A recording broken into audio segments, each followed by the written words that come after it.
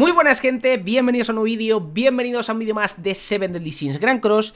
Y bienvenidos a un vídeo de mantenimiento, un nuevo vídeo en el cual vamos a ver qué cositas van a desaparecer del juego y qué cositas van a entrar en el mismo. Y un vídeo bastante tenso, ya sabéis que esta mañana me he levantado un poco cabreado, he visto esta noticia y lo que ello conlleva y la verdad es que me ha alterado un poco. Y bueno, después de ver las cosas con un poquito más de perspectiva, supongo que estoy algo más calmado, tampoco me parece tan mal pero al mismo tiempo hay cosas que no me terminan de gustar y muy posiblemente las diga en un vídeo a futuro. Como sabréis, eh, yo esperaba que el próximo festival del juego llegase a aparecer en diciembre con una posible celebración de Navidad, lo cual tiene pues todo el sentido del mundo, aprovechas que se llega que llega una, fecha especial y nos metes un festival, ya sea el de Kingalitas, que era una de las suposiciones que teníamos, o el de Lidiosa, que es el otro festival que debería poder llegar. Y bueno, JP pues ya metes lo que, lo que bien consideres. Pero gente, eh, ¿qué queréis que os diga? La verdad es que mm, parece ser que va a llegar antes de lo esperado Esperábamos que llegase en diciembre, con lo cual, pues bueno, había gente que se había... ¿Cómo decirlo? Se había preparado para que en diciembre tener las suficientes diamantes para poder tirar a un festival, un full steps, los típicos 900 diamantes de los que tanto se hablan. Y bueno, a lo mejor ha gastado más diamantes de los debidos en las últimas semanas, teniendo en cuenta que quedaban, pues eso, dos meses para poder tirar a ese nuevo festival. Sin embargo, gente, parece ser que está más cerca de lo que deberíamos Y es que esta nueva actualización nos da un par de detalles Que muy posiblemente se hayan escapado de, de los ojos de algunos, así que vamos a verlos. Y de nuevo daré mi opinión sobre que salga un festival tan pronto, porque si esto es así realmente, el festival debería llegar la semana que viene o la siguiente. Y esto es una completa locura, personalmente, y creo que eso, pues bueno, es tema para hablar en un vídeo aparte. Y e intentaré explicar por qué me molesta tanto el, hecho de que salga tan rápido. Pero bueno, vamos allá porque la actualización en sí es una completa locura, la actualización es muy pero que muy buena, obviando el hecho de que siguen sacándonos contenido a puto fuego, ¿vale, gente? De igual manera la actualización es muy pero que muy buena. Tenemos un nuevo banner en el cual por steps vamos a tener la opción de conseguir a Matrona y a Camila. Camila que como sabréis es el último disaster del juego. Tenemos un total de 7 disasters y vamos a tener a Camila como último disaster del juego.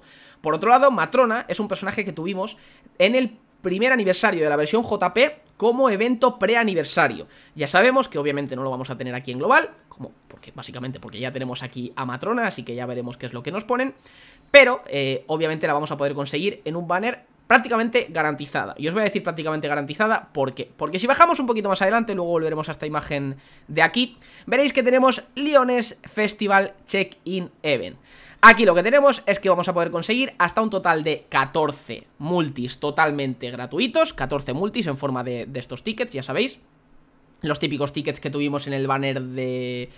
Creo que fue de Arturo, Sí, creo que fue de Arturo, en el banner de Arturo, que básicamente te lo guiabas día a día y conseguías un ticket y con ese ticket podías tirar un multi y así, pues bueno, tener la opción de conseguir a Arturo en ese caso y en este caso, muy posiblemente, a tanto a Matrona como a Camila. Pero ¿qué es lo que pasa? Como sabréis, los personajes de Disaster suelen venir en steps, en banners de steps especiales. Este parece ser que va a ser algo distinto, porque en este banner por steps no vamos a tener estos steps, sino que simplemente eh, nos dicen que vamos a poder conseguir de forma garantizada a estos dos personajes.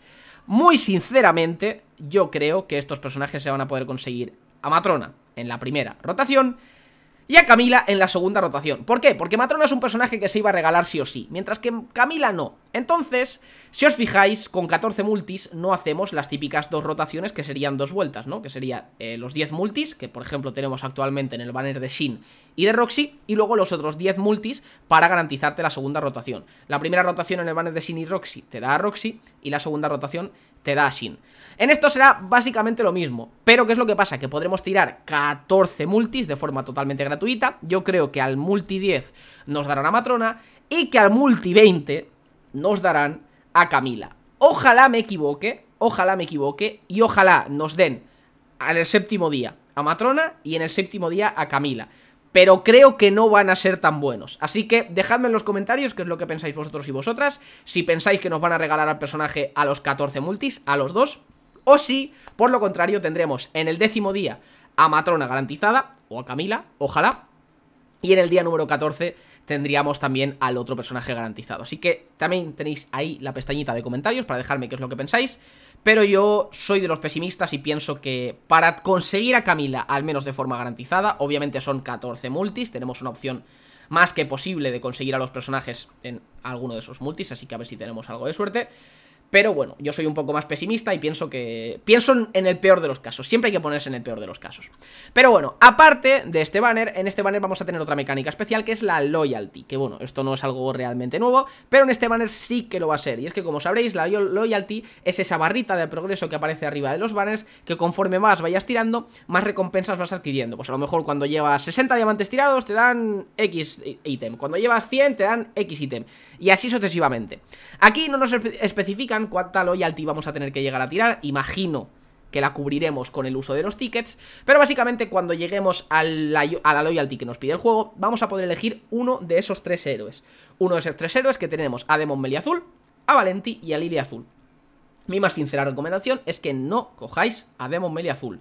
No porque sea una carta mala, no porque la perforación a día de hoy esté mal, porque la perforación desde que ha salido Mega Rugal es un team bastante más viable de lo que estaba actualmente, pero Demon Melee Azul es una carta que sale en los tickets de parte 2 y que salen banners aleatorios. Muy poco, pero salen banners aleatorios. Mientras que las otras dos son banners disasters, es decir, solo, son, solo van a salirte en los banners que sean de personajes de disasters, y obviamente no te salen ningún otro banner más. Así que mi más sincera recomendación es que si tenéis que coger alguno de los tres personajes, que cojáis a Lilia o a Valenti. Priorizando por Lilia, porque creo que el team de perforación, de nuevo insisto, después de la aparición de Omega Rugal, está bastante mejor. Pero bueno, eh, como veis, aquí tenemos las habilidades de los personajes. Recordad que Camila es un personaje transformable, al igual que Eren de la collab de Shingeki no Kyojin. Pero también nos vamos a parar un poquito más aquí, que sería en este login, como estáis viendo por aquí. Just for checking in, tal, etcétera. Pero vamos a fijarnos en el texto que pone abajo. Draw 11 times with... Bueno, 11. Es que ayer estuvimos precisamente hablando de esto, que cómo es hablar en inglés y cuando llega un número decirlo en castellano, sin, ningún tipo de vergüenza. Bueno, draw 11 times with the Leon's Festival if draw tickets that will be given for free on a daily basis. Gente, esto. Leon's Festival if. Eh, quiero pensar... Quiero pensar, aunque no va a ser así, que esto de Leon's Festival If va a ser como una forma de llamar a la celebración, en cierto modo, o, o llamar a una celebración, sin más, Leon's Festival, o sea... Pues bueno, es un festival, ¿no? Eh, pero es que ya sabéis que la palabra festival tiene otro tipo de connotaciones en este juego y en cualquier gacha, y es que los festivals son los banners especiales de los juegos. Festival en el cual tuvimos a los Beimeliodas y festival el cual próximamente deberíamos tener o a Elizabeth Diosa, que bueno, ha cogido fuerza desde que hemos visto por aquí a Matrona, aunque bueno, Matrona debería aparecer igualmente, fuese Elizabeth Diosa o fuese King Galitas, ¿sabéis? Eso, bueno, yo creo que sería de esta manera. Pero básicamente es bastante probable que después de que acabe este login, que duraría dos semanas, muy posiblemente, un ticket por cada día, pues vamos a tener un festival. Eso quiere decir que el festival lo vamos a tener el día 17, no, el día 24 de noviembre. No, 24, 17, el día 17 de noviembre. Y eso es bastante malo teniendo en cuenta lo que, lo que ha venido en, los últimos, en las últimas semanas, en los últimos meses, después de los 20 Meliodas. Yo creo que no han dado tiempo, personalmente. Eh, no estoy criticando el hecho de que salga dos meses después de los 20, porque en JP parece ser que ocurrió exactamente lo mismo. Pero creo que es bastante injusto, teniendo en cuenta lo que hemos tenido nosotros en las últimas semanas, que... Banners a los cuales enfrentarnos en las últimas semanas, al fin y al cabo. Sin embargo, pues bueno, en el caso de que llegue este, este nuevo festival, pues tendremos que enfrentarnos a él, tendremos que tirarle. Pero insisto que hablaré sobre mi opinión al respecto de esto en, un vídeo aparte. En fin, tenemos nuevas skins, tanto para Camila como para Matrona, obviamente. Eh, las típicas que se podrán comprar por diamantes. E imagino que, perdón, por oro, por dinero real. Y luego imagino que por diamantes. Espero que esta vez lo hagan, porque según me han mencionado todos vosotros, eh, no se pueden comprar las skins de Halloween por diamantes, lo cual me parece una vergüenza. Luego aparte tendríamos el típico bundle que por X dinero, lo que sea, imagino que serán 27 euros o algo por el estilo. Tendríamos tres multis más, al banner de Camila y Matrona eh, y otros 30 diamantes, que no está mal, que por cierto, menuda waifu es Camila. Y luego aparte, eh, la semana número 2 de la celebración de Seven Deadly Sins con King of Fighters, en la cual tendremos la semana 2 de PvP y obviamente tendremos los eventos que tendremos que seguir farmeando hasta, hasta bueno, hasta que nosotros decidamos, yo, para hasta vaciar las tiendas o lo que sea. Por otro lado, nuevo evento de desarrollo en el cual podremos conseguir otros 7 pendientes SSR, colgantes, perdón, que yo los agradezco muchísimo, personalmente. Eh, mucho, de verdad. O sea, no, sabéis cuánto. A día de hoy estaba muy, muy, muy canino de colgantes SSR, aunque el otro día me, gasté bastantes monedas doradas en ellos. Y tendremos también los engravings de Camila y de Matrona, además de la añadición, de la adición del eh, nuestro amigo Celdris Rojo a la CoinShop. Por 10 monedas de platino, yo me esperaría comprarlo cuando valga 7. Tampoco es que sea aquí la panacea esta carta. Eh, está muy bien y quiero probar un equipo con el MPVP. Pero bueno, yo tampoco invertiría 10 monedas de platino, al menos de momento. No creo que merezca tanto la pena y que sea tan, tan, tan necesario, vaya. Por otro lado, se podrán comprar por diamantes eh, los adornos de taberna del western y de verano. Pues bueno, está bien. Imagino que serán 30 diamantes por la full skin de la taberna y no por cada uno, porque me parecería una completa locura. Y por último, vamos a hablar de esto, ¿vale? Esto quiero que lo cojáis con pinzas y que toméis nota porque esto es importante, ¿vale, gente? Puedo estar equivocándome, pero yo creo que esto va a ser así, así que mucho cuidado con lo que os voy a mencionar. Durante una semana vamos a poder comprar el doble de cosas en la hermandad. Como sabréis, en la hermandad, por monedas de hermandad, valga la redundancia, podemos comprar ciertos ítems. Por norma general, los que más suelo comprar yo serían las comidas de demonio, de vez en cuando he comprado algún colgante SSR y también algunos materiales de Awaken cuando dices, oh, me da mucha pereza ponerme a farmear ahora, que es lo que estoy haciendo yo ahora, que está la estamina a la mitad. No me apetece, voy a coger y los voy a comprar. Me gasto las monedas de la hermandad, que total, tengo colgantes de sobra, tengo tal, tal, tal, tal, tal, tal.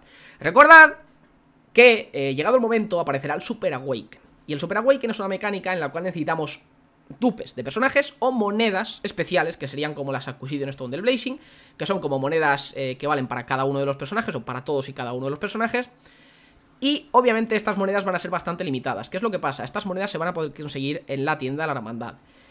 Y casualmente se acerca el Super Awaken, por fechas debería llegar el Super Awaken, y nos ponen esto. Entonces, yo quiero pensar que lo están haciendo a muy mala fe y sí, quiero pensarlo así, y que muy seguramente cuando se acabe este evento eh, nos metan también el Super Awaken con esas medallas de Super Awaken y que podamos comprar esas medallas de Super Awaken en la guild y que nos pillen con poquitas monedas. Así que mi más sincera recomendación, por jugoso que parezca esto, yo sí que voy a comprar las comidas de demonio porque siempre me vienen muy pero que muy bien. Os recomendaría no gastar muchas monedas en esto y guardarlas para las medallas de Super Awaken, que os van a ser muchísimo más útiles. Para quien no sepa lo que es el Super Awaken, es un sistema en el cual aumentas las estadísticas de tus personajes con ciertos ítems o con dupes de los mismos, que son básicamente las estrellas rojitas, eh, que puedes llegar hasta cuatro estrellas rojas de, de tus personajes, vaya, que habréis visto en algunas imágenes por ahí.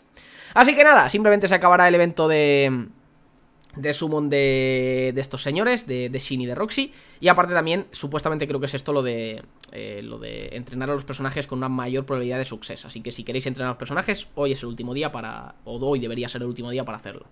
Así que nada más, gente. Espero que os haya... Por cierto, creo que también para... Para romper equipamiento. Que puede ser que me equivoque. En fin, gente. De nuevo que reservo mi opinión para futuros vídeos sobre qué es lo que me parece que salga un festival ya, si es que realmente va a salir, que tiene todas las papeletas. Así que vamos a dejar el vídeo por aquí, espero que os haya gustado, espero que no os haya molestado muchísimo el Melioda reventándole la cabeza al, trío calavera aquí delante.